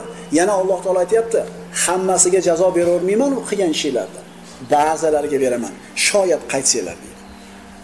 Naq bo'lib turgan g'alaba Payg'ambarimiz sollallohu alayhi vasallam hukmiga xilof qilgan 50 ta kamonchini ishini deb mag'lubiyatga aylandi. Musa ibn Umayr shahid bo'ldi. Hamza ibn Abdul Muttolib shahid bo'ldi. Musulmonlarning bayrog'i ham, mushriklarning ham bayrog'i yiqildi. Payg'ambarimiz sollallohu alayhi vasallam mana shunday parokandalikda Abu Omir kavlagan chuqurga tushib ketdi. Shayton Muhammad o'ldirildi dedi. Va bu narsa musulmonlarga qattiq zarba bo'ldi. Sa'd ibn Muoz, Umar ibn Hattobdek ulug' sahobalar o'tirib qoldi nima qilishni bilmasdan. Anas ibn Nasrni qilgan qahramonligini aytib o'tgan bo'ldi. Payg'ambarimiz sollallohu alayhi vasallam chuqurga tushib ketib, sahobalarni atrofiga jamlashlik uchun men Rasulullohman, meni oldimga kelinglar, meni oldimga kelinglar deb chaqirdi. Albatta bu xatarli ish edi. Mushriklardan Ibn Ummi Qomiya payg'ambarimiz sollallohu alayhi vasallam tushib qolgan chuqurga birinchi bo'lib yetib keldi. Rasululloh chuqurdan chiqmoqchi bo'lib turgan paytda qilichi bilan shunday bir qattiq zarba urdi yelkasiga payg'ambarimizni. Payg'ambarimiz qaytib yana chuqurga tushib ketdi. Zarbani qattiqligidan payg'ambarimiz bir oygacha og'riqni sezib yurdi. Lekin sovutni ikki qavat kiyib olganligi Rasulullohning yelkasini himoyalanib qolishiga sabab bo'ldi. Payg'ambarimiz chuqurga qaytib tushdi. Ibn Ummi homiya chuqur yig'ib tushdida ikkinchi marta qilish ko'tarib Rasululloh sollallohu alayhi vasallamni muborak boshlariga urdi zarba bilan. Zarbani qattiqligidan payg'ambarimiz mana shu bosh kiyimi, temir kiyimi boshiga sanchilib qoldi temiri. Musulmonlar payg'ambarimizni himoya qilishiga shoshildi, lekin chuqurda Ibn Ummi Xomiya payg'ambarimizni yolg'iz turibdi. Payg'ambarimiz yiqilgan, Ibn Ummi Xomiya tikka turibdi. Uchinchi marta yerdan bir hasen toshni oldi, Rasululloh sollallohu alayhi vasallamning muborak yuzlariga urdi tosh bilan. Rasulullohning tishlari sindi, og'izlari qonga to'ldi. Shunda sahobalardan bir to'plari kelib, Ibn Ummi homiyani chuqurdan chiqarishlikka va payg'ambarimizni himoya qilishlikka muvaffaq bo'lishdi. Bu holatni ko'rgan Nusayba bint Ka'b roziyallohu anha qilichni oldida qattiq jang qilib qoldi. Payg'ambarimiz aytadilar, Uhud kuni o'ngga qarasam ham, chapga qarasam ham Nusayba atrofimda jang qilayotganini ko'rdim dedi. U ayol sahobiy ayol yelkasidan jarohat oladi va umri davomida mana shu jarohat unga bir aziyat beradi. Talhat ibn Ubaydulloh keldi, payg'ambarimiz sollallohu alayhi vasallam oldidan mushriklarni hayday boshladi. Payg'ambarimizni chuqurdan hali chiqmaganini ko'rgan mushriklar kelib kamon otishni boshladi. Kamon otishni boshladi. Ha, payg'ambarimiz temir bilan o'zini qoplagan, lekin bo'yni, boshqa bir joylar ochiq edi. Mana shu joyga jarohat berishligida xavfi bor edi. Ular kamon otishni boshlaganda chuqurda turgan payg'ambarimiz sollallohu alayhi vasallam ustiga Abu Dujona roziyallohu anhu irg'ib tushdi-da, o'zini tanasi bilan payg'ambarimiz tanasini to'sib yubordi. Otilgan kamon o'qlari abudujonning kuraklariga, shu temir kiyimlarni oralariga saylab xuddi tipratganga o'xshab qoldi. Sahobalardan bir to'plari kelib, mushuklarni ortlariga qaytarishdi. Rasululloh chuqurdan chiqishga muvaffaq bo'ldi. Qaranglar, payg'ambarimiz buncha aziyat, buncha bir musibatlarga nimaga uchradi? Sahobalari payg'ambarimizni buyrug'iga xilof ish qilishgan edi. Hayotimiz ham shunaqa. Payg'ambarimiz sollallohu alayhi vasallam shu ko'rsatmasiga, Allohning buyrug'iga xilof ish qilamiz, ini faqirlik keladi. Ini yetishmovchilik keladi. Ini uyimizdan barakot ketadi. Ini xonadonimizdan shirinlik, totuvlik ketadi. Payg'ambarimiz sollallohu alayhi vasallam chuqurdan chiqdilar va ortga qarab chekinib, jang qilib orqaga, toqqa qarab chiqib bordi. Payg'ambarimiz sollallohu alayhi vasallamni boshiga kirib qolgan temirni chiqarmoqchi bo'lib, Abu Ubayda roziyallohu anhu deyiladi, abdurahmon deyiladi roziyallohu anhu bir keldida sug'urmoqchi bo'ldi. Lekin temir sanchilib qolgan edi. Shunda Abu Ubayda roziyallohu anhu tishi bilan ishlatib, siltab qattiq tortdi. Temir chiqdi, tish ham sinib ketdi. Temir chiqqandan keyin payg'ambarimiz sollallohu alayhi vasallamning boshidan qon otila boshladi. Qonni to'xtatishga qattiq harakat qilish imkon bo'lmadi. Fatima roziyallohu anha mana shu oqayotgan qonga, oqayotgan qonga bir latani qo'ydi, lekin qon to'xtamadi, lata qonga to'lib qoldi. Shunda yerdan bir yog'ochni olib kuydirib, issiq cho'g'di payg'ambarimiz sollallohu alayhi vasallam issiq kuldi, Rasulullohning boshiga bosdi, shunda qon to'xtadi. Nabiy sollallohu alayhi vasallamdan juda ko'p bir qon ketdi. Payg'ambarimiz hali tirikligini ko'rib, mushriklar payg'ambarimizga qarab bostirib kela boshladi. Ularning ichida Ubay ibn Halaf bor edi. Bir to'p otliqlar payg'ambarimizni himoya qilib turgan sahobalarga qarab bostirib keldi. Rasululloh sollallohu alayhi vasallam oldida Abu Bakr, Umar ibn Hattob, Abu Dujona va bir qancha boshqa sahobalar va 7 ta ansoriy bor edi. Ubay ibn Halaf payg'ambar sollallohu alayhi vasallam ustiga ot bilan bostirib keldi. Nabiy sollallohu alayhi vasallam aytdilar: "Man yasudduhu manna, man yarudduhu manna." Kim uni bizdan qaytaradi deb Ansoriylar tashlanishdi. Bu yetal ansoriy shahid bo'ldi. Ubay ibn Halaf payg'ambarimiz ustiga qarab kelardi ot bilan. Makkadagi davrda Ubay ibn Halaf mana shu minib kelgan otini nohayotda bir chiroyli, qimmatbaho, bir kuchli otini minardida payg'ambarimiz oldidan minib o'tyapti Makkadagi davrda. "Ey Muhammad, bu otni qara" dedi. "Men seni mana shu ot ustida turib o'ldiraman" dedi. Payg'ambarimiz esa inshaalloh men seni shu ot ustida turganingda o'ldiraman dedi. Ubay ibn Halaf kelayotganligini ko'rib, Talha roziyallohu anhu payg'ambarimizni tog' ustiga chiqarmoqchi bo'lib engishib turgan bo'ladi. Meni bosib chiqing deb. Payg'ambarimizni qo'yadi-da, Ubayni qaytargani ketganda payg'ambarimiz uni menga qo'yib beringlar dedi. Qo'liga nazani olib payg'ambarimiz sollallohu alayhi vasallam Ubayga qarab uloqtiradi. Shuncha qonoqib shuncha bir quvvatsiz bo'lishiga qaramasdan Rasululloh shunday bir qattiq otadiki, zarbani qattiqligidan yonida o'tirgan sahobalar o'tirib qoladi. Nazi uchi borib, hamma yo'g'ini temir bilan qoplagan, mana shu ochiq bo'lgan bo'ynini chekkasini yaralab o'tadi. Shilib o'tib ketadi, lekin zarbani qattiqligidan Ubay ibn halab yerga yiqilib tushadi otdan, otdan yiqilib bir necha marta yumalaydi. So'ngra turib o'zi mushullar tomonga qochib ketadi. Qatalani Muhammad, Muhammad meni o'ldirdi, Muhammad meni o'ldirdi deydi. Temirlarda ichib qarasa, faqat jarohat. Ey Ubay, ha bu o'ldirmaydi bu jarohatni dedi Allohga qasam. Agar men tomonga tupurib qo'ysam o'lib qolaman men haqiqatdan Haqiqatan mana shu jarohatdan keyin u vafot topadi.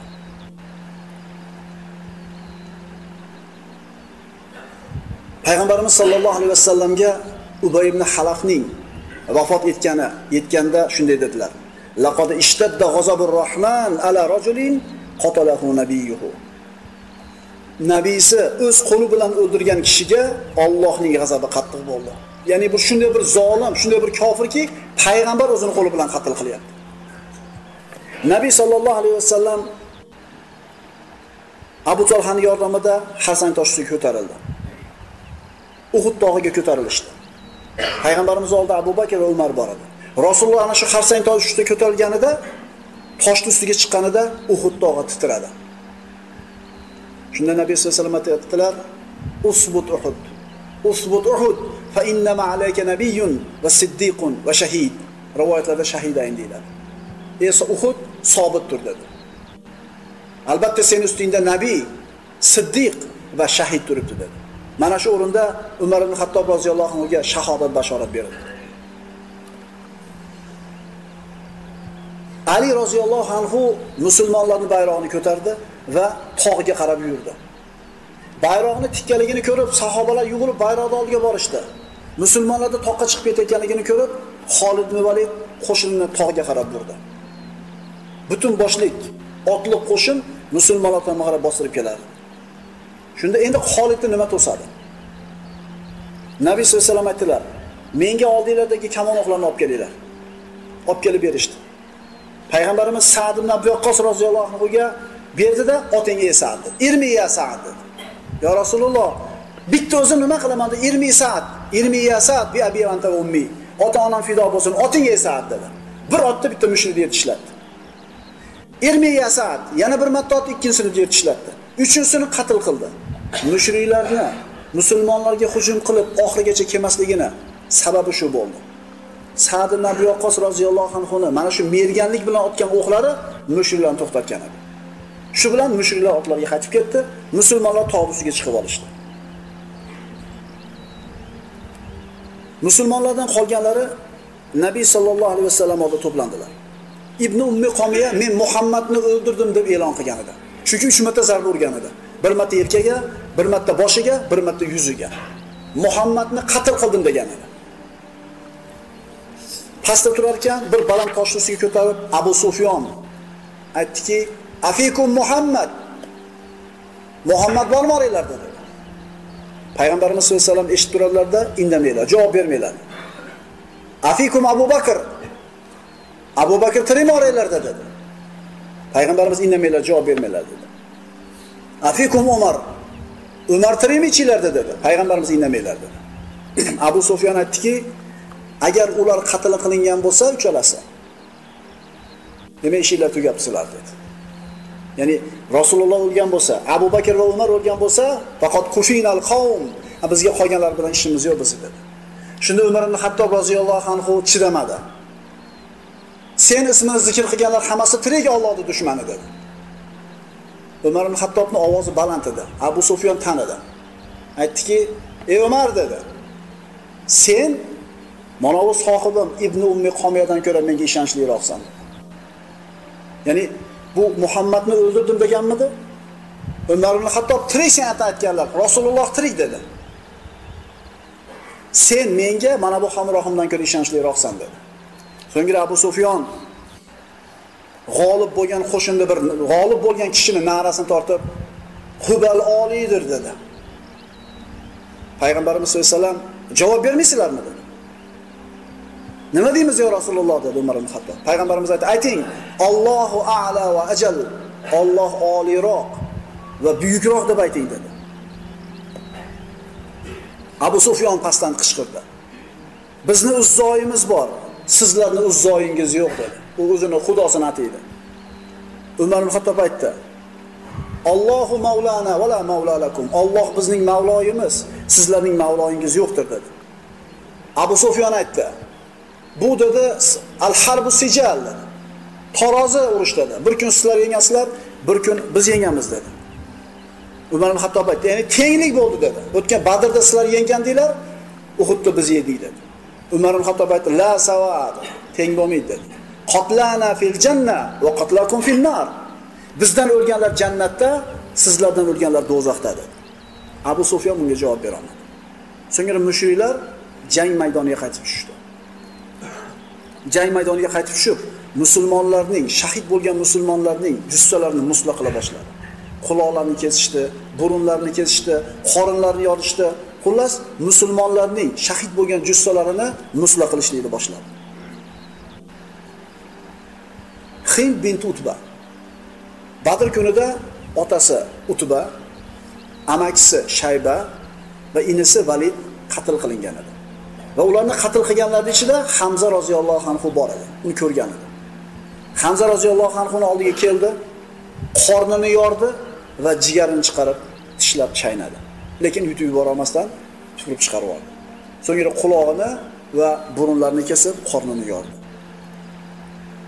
Mushriklar maydonda tark qilib chiqib ketganlaridan keyin musulmonlar jang maydoniga tushdi. Musulmonlardan 70 kishi shahid bo'ldi bu jangda. Mushriklardan bor yo'g'i 22 kishi. Chunki mushriklar jangda avvalida bayrog'ida atrofida o'lganlaringlar o'lib 22 kishi. Qolganlari qochib ketgan edi. Musulmonlardan esa Xolid ibn Valid boshlagan hujumdan keyin 70 kishi shahid bo'lgan edi. Shuning uchun mushriklardan odam ozroq o'lgan edi. Mushriklar ketishdi. Ba'zi odamlar shahid bo'lgan qarindoshlarini ko'mishlik uchun Madinaga qarab qaytarib olib ketishar edi. Rasululloh ularni hammasini qaytarib olib kelishligini buyurdi. Ular qaytarib olib kelishdi. Rasululloh jang maydoniga tushar ekan, shahid bo'lgan sahobalarni ko'rib yig'lar edi. Chunki payg'ambarimiz mana aytdik o'tgan darsimizda tushini aytib berib, qilichimdagi egrilikni ko'rdim. Sigirni so'yilganini ko'rdim. Men o'zim sovutni ichiga kirib ketayotganligimni ko'rdim degan edi. Qilichimdagi egrilik yaqin ahli baytimdan bittasi yetadigan musibat. So'yilgan sigir ashoblarimdan maqtalasi degan edi. Endi men kirib yashiringan sovut Madinada ta'vil qilgan edi. Rasulullohning ra'yi qolishidi Lekin sahobalarni qistovi bilan payg'ambarimiz chiqqan edi. Hali payg'ambarimiz sollallohu alayhi vasallam Hamza roziyallohu anhuni shahid bo'lganligidan xabari yo'q edi.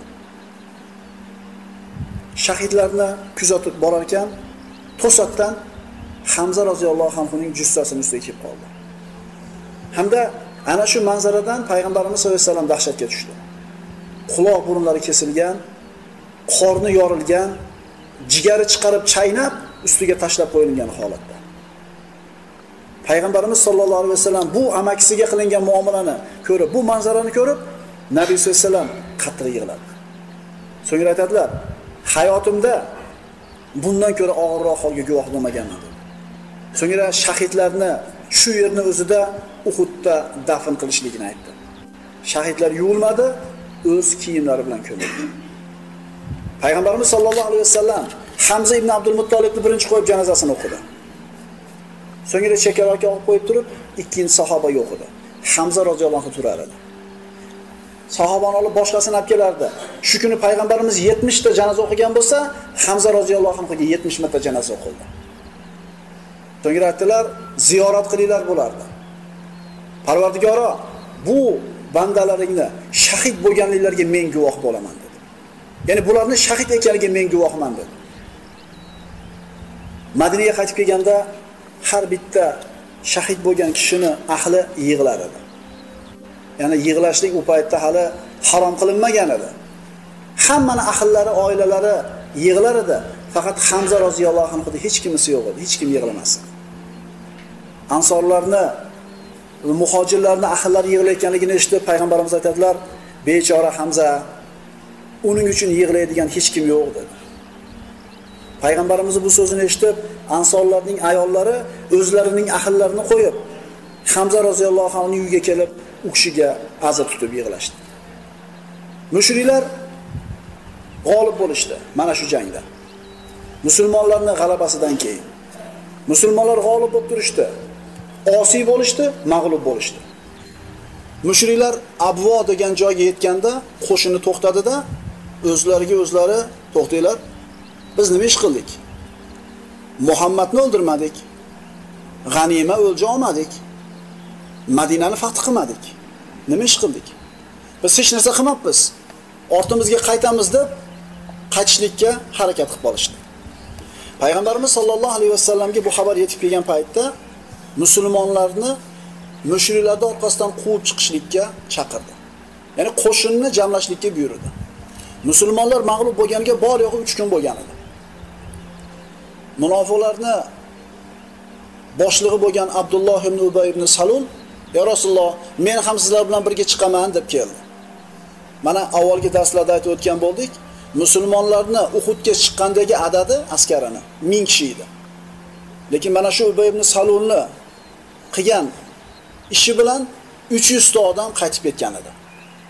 Bu faqatgina musulmonlarda shijoatini pasaytirish, ularning ruhini tushirishlik uni maqsadi. Endi bu munofiq payg'ambarimizga men ham sizlar bilan birga chiqaman deb kelganida payg'ambarimiz uni chiqishligini xohlamadi va aytdilarki, men bilan faqatgina Uhudga chiqqan kishilar chiqadi dedi. Shunday qilib musulmonlar mag'lub bo'lgan hollarida qiyin bo'lgan holatiga qaramasdan aksariyati jarohatlangan, yaralangan bo'lishiga qaramasdan Rasululloh sollallohu alayhi vasallam hukmiga labbe deyishdi. mushriklarni orqasidan chiqishdi. Aksariyati jarohatlangan dedik, hatto ba'zi kishilarni tuyalarga ko'tarib o'tkazib qo'yildi. Jarohat og'irligidan.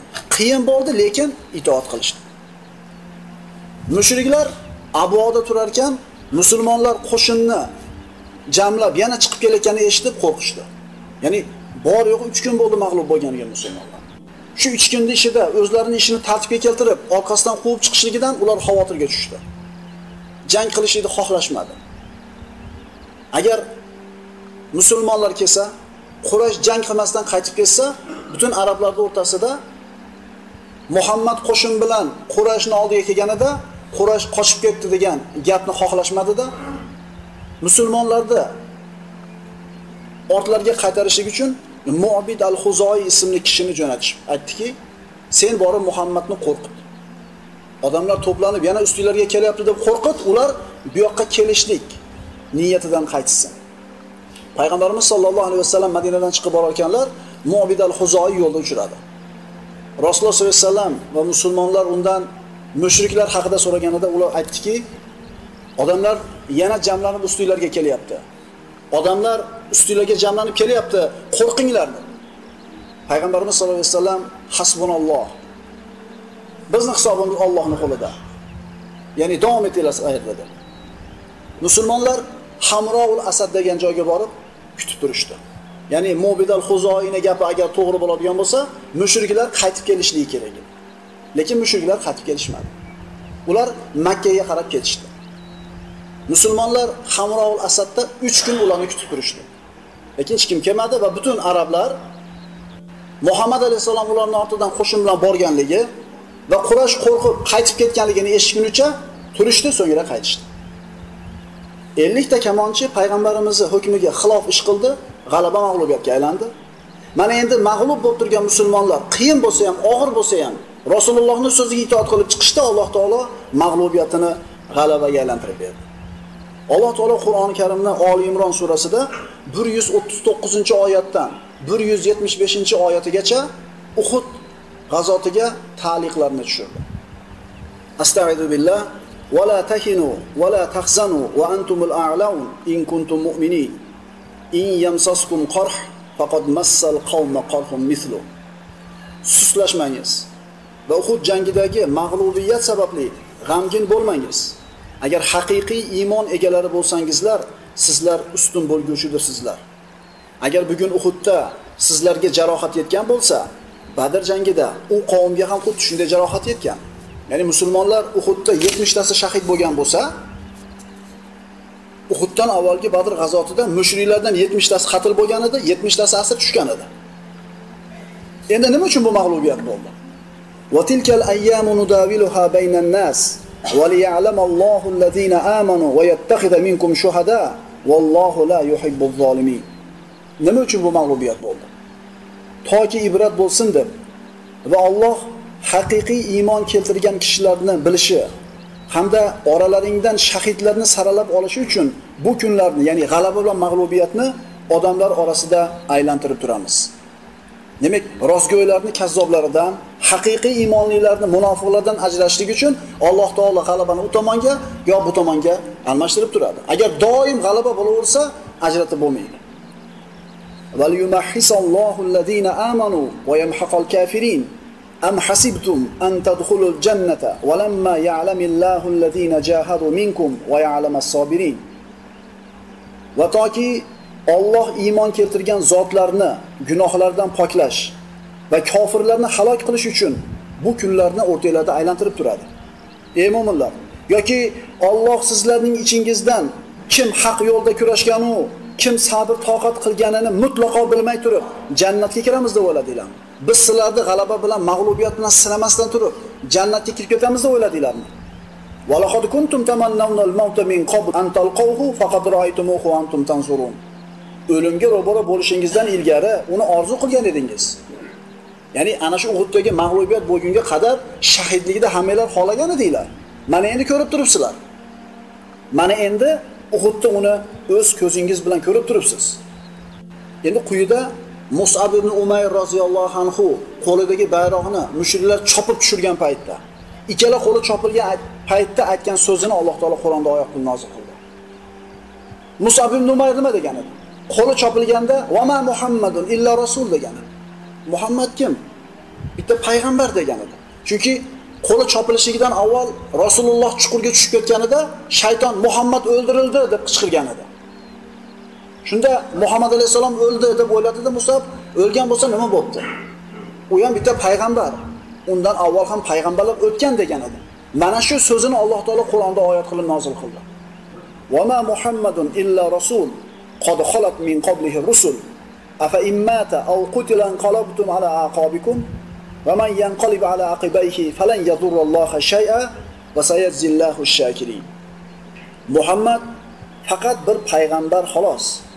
Undan ilgari ham payg'ambarlar o'tgandir. Bas agar u vafot qilsa yoki o'ldirilsa, ketingizga, ya'ni kufrga qaytib ketasizlar. Kimda kim ketiga qaytib ketsa, Allohga biron ziyon yetkaza olmas. Alloh esa shukr qilguvchi bandalarni munosib mukofotlaydi. Muhammad alayhisalom o'lgan bo'lsa, dindan qaytib kelsalar, o'zingizlarga zarar bo'ladi. Har bir jon faqat Allohning izni bilan va aniq belgilab qo'yilgan muddatda o'ladi. Ya'ni rizq yozilgan, qancha umr ko'rishligi Alloh taoloning ilmi azalisida. Kim dunyo savobini istasa, ya'ni o'lja istab kirsa, albatta unga o'sha narsani istaganini berurmiz. Kim oxirat savobini istasa, unga da istagan narsasini berurmiz va shukr qilguvchilarni mukofotlaymiz. Mana endi jangda o'ziga berilgan ta'liqlar. Valaqad sadaqakumullohu va'dahu iz tahussunahum biizni. Alloh o'z va'dasining ustidan chiqdi. Agar sabr qilsanglar, itoatda bo'lsanglar, Alloh taolo bizga 3000 ta yoki 5000 ta farishtani yordamga tushiradi deb payg'ambarimiz va'da bergan edi. Alloh o'zini va'dasini ustidan chiqdi. Sizlar uning izni bilan kofirlarni qira boshladingiz. Jangni avvalida g'olib bo'ldinglar. To suskashlik qilib payg'ambarning amr farmonlari borasida talashib tortishgan va Alloh sizlar yaxshi ko'rgan narsani, ya'ni g'alabani ko'zingizga ko'rsatib qo'ygandan keyin payg'ambarning amridan bosh tortgan paytingizgacha bu ustunligingiz davom etdi. Orangizda dunyo istagan kishilar ham, oxirat istagan kishilar ham bordi. Sahobalardan biri aytadi: Shu oyatlar tushishlikdan avval Rasululloh bilan birga g'azotga chiqqanlarni hammasini oxiratda istab chiqdi derdim men deydi. Endi oramizda dunyo o'lja deb chiqqanlar ham bor ekan. Mana shu oyat nozil bo'lganda keyin bildik dedi. Ya'ni insonlarning qalbidagi narsani Alloh taolo mana shu oyatlar bilan kashf qildi. ثم sarafakum anhum liyabtaliyakum va laqad afa ankum vallohu zu alal mu'minin. So'ngra sizlarni imtihon qilish uchun ularning ustidan g'alaba qilish o'rniga mag'lubiyat tomonga burib yubordi. Endi gunohlaringizni avf qildi. Alloh iymon egalariga fazl marhamat sohibi bo'lgan zotdir. Mana shu payg'ambarimiz sollallohu alayhi vasallam chuqurga tushib ketganida Muhammad o'ldi deb shayton qichqirganida musulmonlarning ba'zilari qochib ketgan edi. Hatto qochib Madinaga yetib borishgan edi. Ana shu qochganlar ichida Usmon roziyallohu anhu ham bor edi. Ahli fitna Usmon roziyallohu anhuga ayblarni qo'yib, sen Uhud kunida Rasulullohni tashlab qochib ketganlardansan deb malomat qilishganida Usmon roziyallohu anhu aytadi: Alloh biz haqimizda, ya'ni Uhud kuni qochib ketganlar haqida valaqad afa ankum Alloh sizlarni avf qildi degan oyat tushirgan. Alloh bizni avf qilgan deb javob berdi. Ey mu'minlar, hech kimga boqmay, jang maydonidan chiqib ketgan paytingizni eslang. Holbuki payg'ambar ortingizda sizlarni chorlamoqda edi. Bas, sizlar ketgan narsa va sizlarga yetgan narsaga xafa g'amgin bo'lmasligingiz uchun Alloh sizlarga g'am ustiga g'am berdi. Alloh qilayotgan amallaringizdan xabardor. siyrat ilmi Qur'onni juda katta qismini tushunishligimizga yo'l ochadi. Chunki Qur'onda payg'ambarimiz sallallohu alayhi vasallamning hayoti haqida oyatlar nozil bo'lar ekan, demak bu Qur'onning katta qismi. Siratni o'rganishlik bilan Qur'onning katta qismini tushunamiz. So'ngra bu g'amning ketidan sizlarga bir orom uyqusini tushirdi. U sizlardan bo'lgan bir toifa kishilarni qamrab oldi. Boshqa bir toifa, ya'ni munofiqlar esa Alloh haqida noto'g'ri, dinsizlarcha badgumon qilib, o'z jonlarining g'amiga tushib qoldilar. munofiqlarni so'zi qanday bo'ldi? Ular endi biz uchun hech qanday g'alaba bo'lmaydi deyishadi ayting Muhammad alayhissalom butun ish Allohning qo'lida. Ular sizga oshkor qilmaydigan narsani munofiqligini yashiradilar. Ayting Muhammad alayhissalom Ya'ni mushriklar aytishdiki, agar ixtiyor o'zimizni qo'limizda bo'lganda, shu yerlarda qatl bo'lmagan bo'lar edik. degan so'zga Alloh javob berdi. Ayting ey Muhammad, agar uylaringizning ichiga berkinib olganingizda ham o'ldirilishi Alloh tomonidan hukm qilingan kishilar shubhasiz halokat joyiga kelgan bo'lar edilar. Sizlar qo'rqib qochib ketganinglarga yoki jangga chiqmaganinglarga tirik qolmadinglar. Alloh taolo sizlarga o'limni yozmagan uchun tirik qoldinglar. Agar o'lishlik peshonalarga yozilgan bo'lganida, uylarga kirib berkin olganinglarda ham qatl qilingan bo'lardilar. Fabima rahmatin minallohi lintalahum Walau kunta fazzan ghalidhal qalb falamfazzu min hallik. Mana payg'ambarimiz sollallohu alayhi vasallamga osiy bo'lib payg'ambarimizni tashlab ketishdi. Endi payg'ambarimiz har qancha sahobalarni malomat qilsa, ularni koyisi haqqi bor. Lekin payg'ambarimiz ularni avf qildi. Ularga qattiq gapirmadi. Alloh aytadi: "Ey Muhammad, Alloh tomonidan bo'lgan bir marhamat sababli ularga, ya'ni sahobalarga yumshoq so'zli bo'ldingiz." Shuncha ayb ish qilishgan bo'lsa ham payg'ambarimiz yumshoq gapirdi. Agar qo'pol qattiq dil bo'lganingizda edi albatta atrofingizdan tarqalib ketgan bo'lardilar. Shunchalik musulmonlar payg'ambarimizni qiyin holatda tashlab ketganiga qaramasdan payg'ambarimiz avf qildi sollallohu alayhi vasallam mana shu noto'g'ri ishni qilgan sahobalarga nisbatan Alloh taolo payg'ambarimizga qanday muomala qilish kerakligini o'rgatyapti. Biz kechira olmaymiz bir odamni. Ozgina bir ixtiyoridan, ixtiyordan tashqari ayb bo'lsa kechira olmaymiz. Payg'ambarimiz sollallohu alayhi vasallamni ya'ni halokat o'rnida qolib ketdi. Sahobalar tashlab ketib qolishdi. Rasulullohni muborak yelkalariga bitta, boshlariga bitta zarba tushdi qilish bilan. Yuziga tosh bilan urdi. Mana shunday aziyatlarni tortib turib payg'ambarimiz sollallohu alayhi vasallam sahobalarga muloyim bo'ldi. Fa'fu anhum wastaghfir lahum wa shawirhum fil amr fa idza azamta fatawakkal ala Allah innalloha yuhibbul mutawakkilin. Bas, ularni kimni? Sahobalarni. Bas ularni avf eting. Ular uchun Allohdan mag'firat so'rang va ajib hukm qildi va ishlaringizda maslahat so'rang. Qaranglar, payg'ambarimiz sollallohu alayhi vasallam Uhudga chiqishlikda payg'ambarimiz rag'bati yo'q edi. Tushini aytib bergan edi. Qilichimda egillikni ko'rdim. Sigirni so'yilganini ko'rdim. Sovutim ichiga kirib ketayotganini ko'rdim. Meni ra'yim Madinada qolish degan edi. Lekin sahobalarni maslahati bilan, qistov bilan payg'ambarimiz chiqdi. Bergan maslahatlari noto'g'ri bo'ldi. Xo'p, shu noto'g'ri maslahat bo'lib qolganligi uchun qayta maslahat qilmang dedimi? Alloh taolo aytdi, ularga endi va ishlaringizda ularga maslahat soling. Maslahatda barakot bor birodarlar. Umar ibn Hattob roziyallohu anhu erkaklarni uchga bo'ladi. Erkaklarni uchga bo'ladi. Haqiqiy komil erkak. U kim? Mushkulani hal qilishlikka o'zini fikri bor. O'zining kallasi ishlaydi. Yana maslahat ham oladi. Ana, to'liq erkak.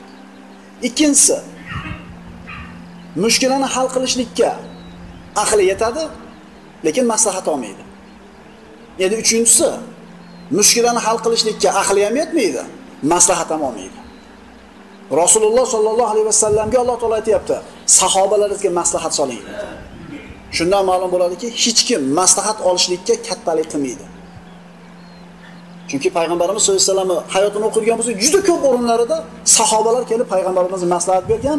Agar jo'yali fikr bo'lgan bo'lsa, payg'ambarimiz sollallohu alayhi vasallam olgan. Wa ma asabakum yawmal taqal jam'ani bi fa bi. Ikki jamoat to'qnashgan kun sizlarga yetgan musibat Allohning izni irodasi bilan va haqiqiy mu'minlarni bilish uchun hamda nifoq yo'liga kirgan kimsalarni aniqlash uchun bo'ldi. Ularga kelinglar, Alloh yo'lida jang qilinglar yoki hech bo'lmasa bizning sanog'imizni ko'paytirish bilan dushmanni daf qilinglar desa, agar jang bo'lishini aniq bilganimizda-ku, sizlarni ortingizdan borgan bo'lar edik deyshadi. O'sha kuni ular iymondan ko'ra kufrga yaqinroq edilar. Ular og'zida, ko'ngillarida bo'lmagan narsalarni gapirmoqdalar. Alloh esa ularning yashirin sirlarini juda yaxshi bilguchidir.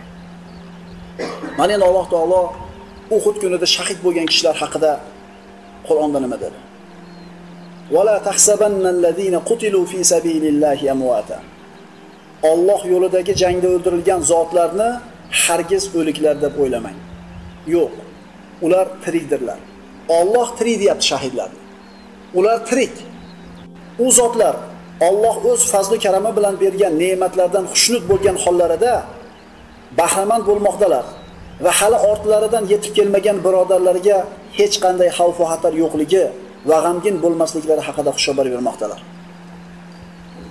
Abdulloh ibn Harom roziyallohu anhu Jobir ibn Abdullohning otasi Uhudda shahid bo'ldi. Ko'p qiz farzandlari qolgan edi. Bir dona o'g'il bor edi, Jobir ibn Abdulloh. O'g'liga Uhudga chiqib ketyapti, men shahid bo'laman bugun dedi.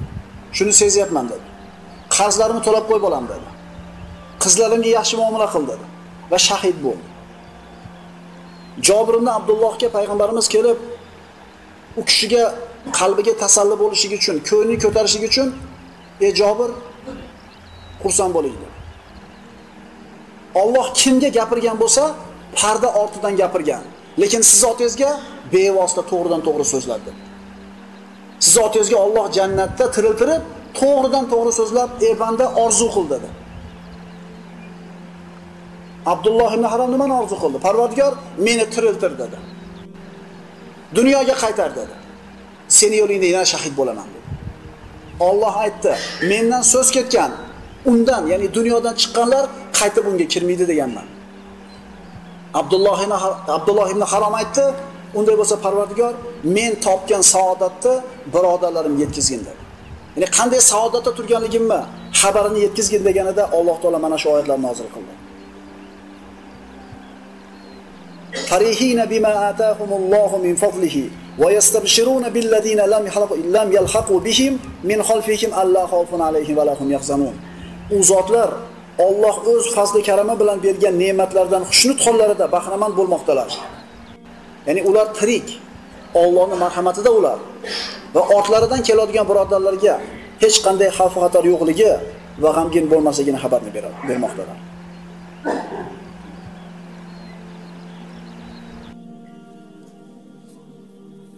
nihoyat taliqning nihoyasi 175-oyat innama zalikumush shaytonu yukhawwifu awliya'a fala taxafuhum va xafun in kuntum mu'minin albatta o'sha sizlarni vasvasaga solmoqchi bo'lgan shaytonning o'zidir. U sizni u sizlarni o'zining do'stlaridan ya'ni kofirlardan qo'rqitmoqchi bo'ladilar. Bas agar mo'min bo'lsangizlar ulardan qo'rqmangiz mendan qo'rqingiz. Bir yuz o'ttiz to'qqizinchidan bir yuz yetmish beshinchi bo'lgan Oli Imronning oyatlari Uhud g'azoti haqida nozil bo'ldi. Uhud g'azoti nihoyasiga yetdi. أقول قولي هذا وأستغفر الله لي ولكم السلام عليكم ورحمة الله وبركاته